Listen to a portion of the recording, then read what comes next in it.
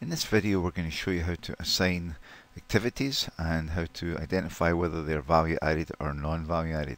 So if we play the video here you can see the operator is buffing the sides of this part here. I'm going to stop it when he pulls away right there.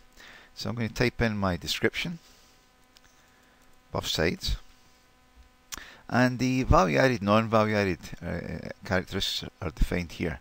So obviously this is direct work on the, uh, the product, so we'll call that value added. And then we just click on the save.